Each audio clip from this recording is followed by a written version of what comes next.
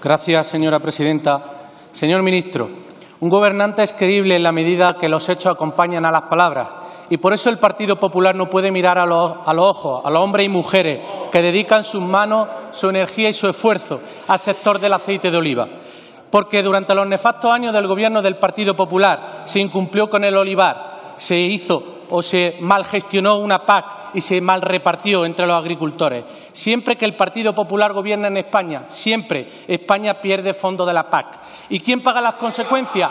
Los medianos, los pequeños y medianos agricultores. Silencio, por favor. Se, contaron medias verdades, contaron medias verdades para decir que no es, nunca lo fue una prioridad para el Partido Popular el olivar. Y abandonaron a su suerte a una parte, Ruego silencio. al sector del olivar, aquellos que producen más del 50% de la producción mundial. Por eso, señor ministro, resulta certero y nos encontramos satisfechos con la gestión y la planificación del Gobierno en el Señor diputado, espere un momento, por favor. Ruego respeto a quien tiene el uso de la palabra. Silencio, por favor.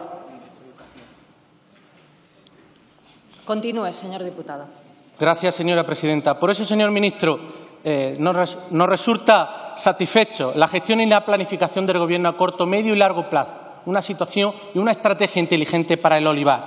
Miren, el olivar constituye una parte esencial de la economía, de la biodiversidad, de la vertebración y la cohesión territorial de nuestro país, para también mi provincia, la provincia de Jaén, con sus 66 millones de olivos. La situación provocada por el coronavirus, la tendencia a la baja de los precios previo a la pandemia y la necesidad de un precio justo que mantenga la renta de los olivareros ha hecho que este Gobierno haya tomado medidas serias con una prioridad muy clara, mantener las rentas y mejorar la competitividad del aceite de oliva en el mundo. Y permítame una reflexión, señor ministro, a mi juicio imprescindible, usted bien lo sabe, y es la valoración honesta de su gestión a favor del olivar tradicional. Sí, el olivar que olvidó el Partido Popular cuando gobernaba, una apuesta valiente la que usted ha hecho, la que el Ministerio ha hecho por la viabilidad del olivar tradicional y, como bien sabe, que tiene consecuencias muy positivas para nuestro país. Por eso hoy el olivar tradicional cuenta con un Gobierno que es cómplice y que también ayuda a sacar adelante este olivar tradicional, con un aliado que es el Gobierno de España.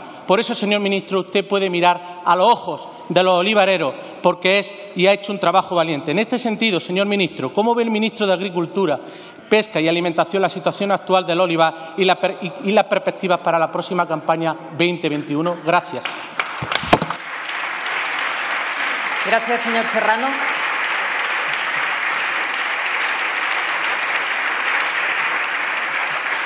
Señor ministro de Agricultura, Pesca y Alimentación. Sí, muchas gracias, señora presidenta, señor diputado. Eh, muchas gracias por su pregunta y comparto enteramente su reflexión. Efectivamente, este es un gobierno que actúa y un gobierno que actúa en un sector del cual somos líderes mundiales en cantidad y en calidad.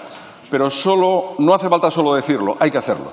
Hemos tenido una campaña 18-19 con una cosecha récord de 1.800.000 toneladas.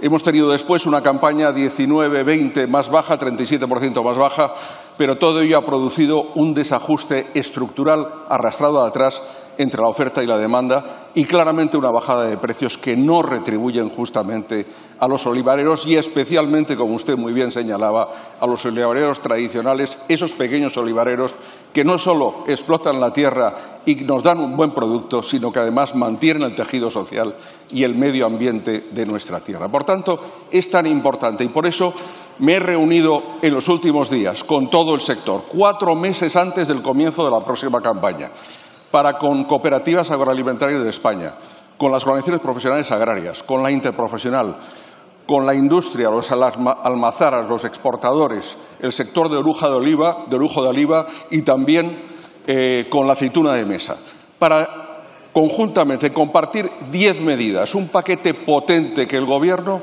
lleva adelante en materia de ordenación de la oferta, de calidad y de trazabilidad y de promoción para conseguir que este sector tenga un presente y un futuro, que lo tiene, y optimista.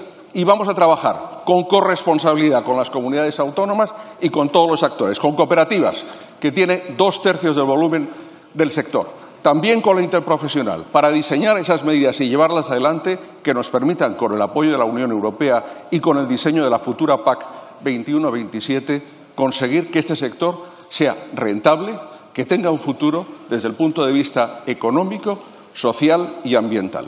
Este es el objetivo de este Gobierno, que se preocupa por los agricultores, por los ganaderos y los pescadores, que se preocupa por todos aquellos que nos dan alimentos suficientes en cantidad y calidad y del cual estamos muy orgullosos. Muchas gracias.